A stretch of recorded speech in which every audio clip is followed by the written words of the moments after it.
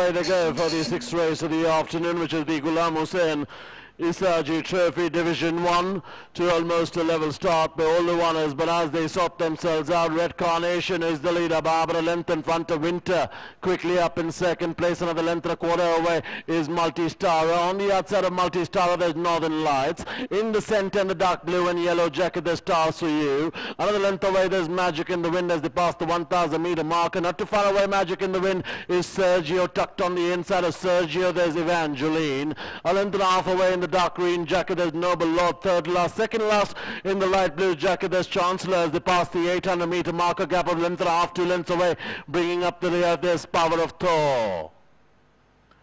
They now approach the six 600 meter marker back to the leader and it's uh, Red Carnation just the leader. Barbara half in front of Winter is the one on the outside. Another length and a quarter away in a handy posse. In third there's Northern Lights. Another length and a half away there's Multi-Star. Then we go back to Stars for You as the heads turn film.